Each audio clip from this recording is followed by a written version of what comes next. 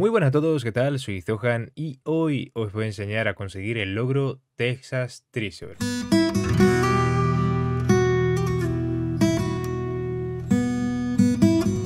Quizás hayas caído en este vídeo porque estás tratando de conseguir Texas Treasure parte 2, no sé si estarás en el futuro y estarás buscando cómo conseguir el logro Texas Treasure parte 3 o parte 4, pero sin haber hecho esto no podrás hacer ninguno de los siguientes logros.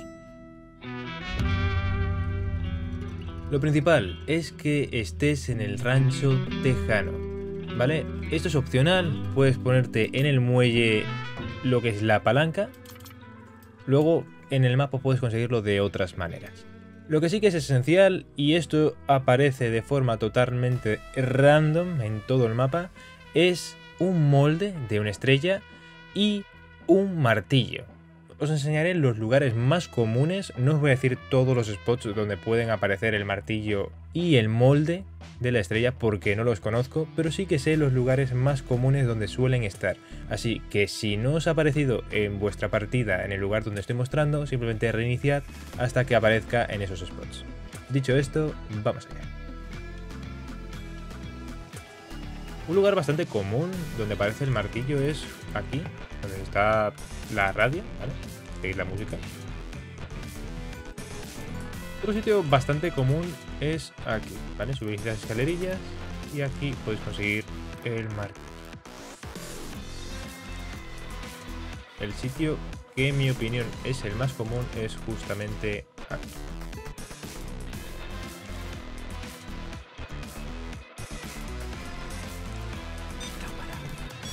Vale, una vez tengamos el martillo y tengamos el molde, es recomendable venir aquí. Y justamente debajo de la escalera hay algo secreto. Para poder hacer esto necesitamos la palanca, obviamente. Tomamos un lingote de plata. Y nos vamos a este edificio de aquí, justamente al final. Aquí encontraremos un yunque. Aquí pondremos el martillo y pondremos el molde. Y voilà, si juntamos el lingote podremos fabricar la estrella de Serif tan ansiada.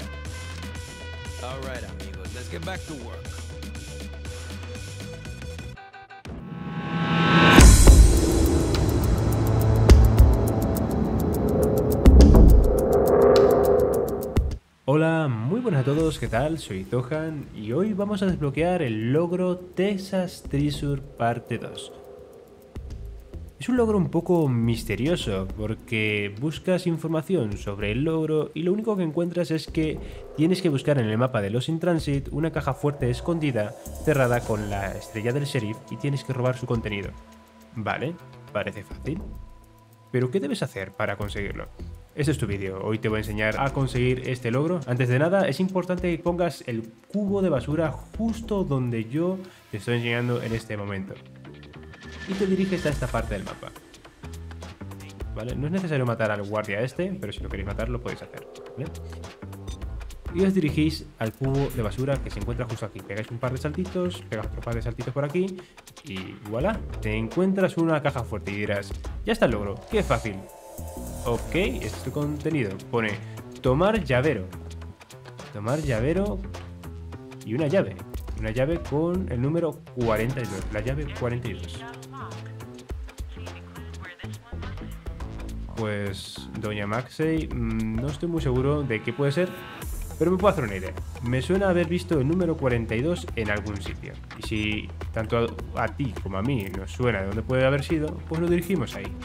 Vale, venís por aquí, por aquí, os por aquí, subís a esta zona de aquí, vigiláis que la cámara no te vea, porque es muy importante encontrar el número 42. Vale, saltamos a esta zona de aquí y nos dirigimos aquí. 42. Abrimos. Oh. Creo, Doña Maxey, que hemos encontrado de qué puede ser. Oh. Eh,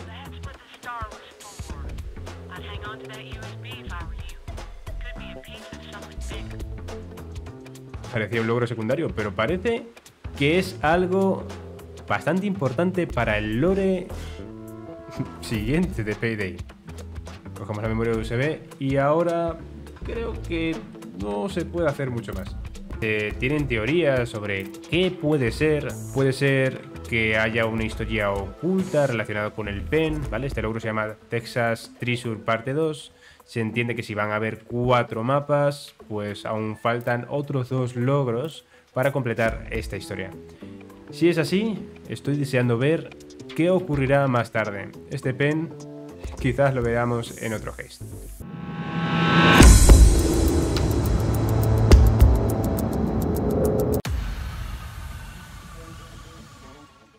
Hola, muy buenas a todos, ¿qué tal? Soy Zohan y hoy os traigo la guía de Texas Treasure parte 3.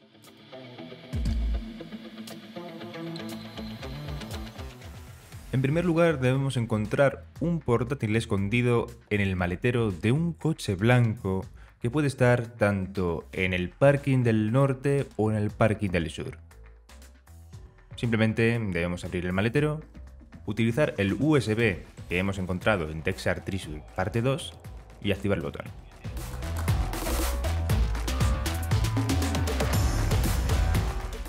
Una vez activado el botón del portátil, aparece un botón random en el mapa. Hay tres localizaciones posibles.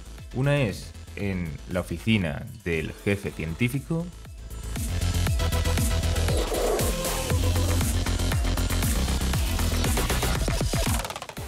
Otra puede aparecer en la habitación que se encuentra tras el mostrador en la recepción.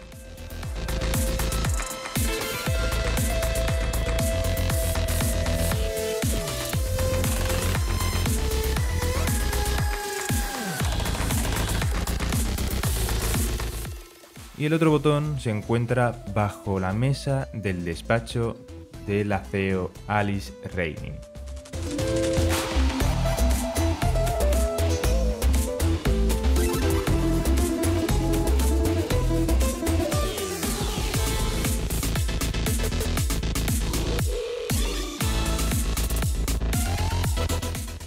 Una vez encontrado, tan solo presiónalo. Activar este botón servirá para activar el pad numérico de la caja fuerte, pero antes de abrirla deberemos averiguar cuál es el código secreto. Por el mapa aparecen tres posibles localizaciones con tres números de colores diferentes para abrir esta caja.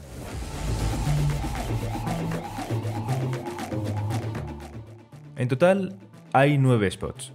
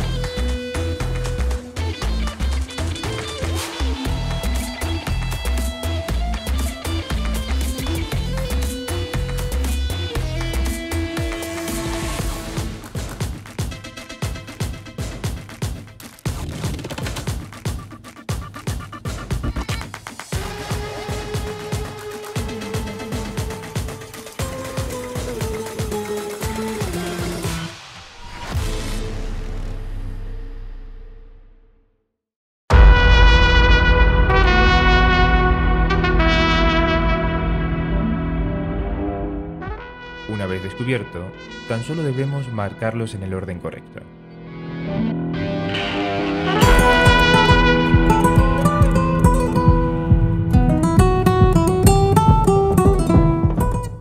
Dentro de la caja fuerte hay unos planos.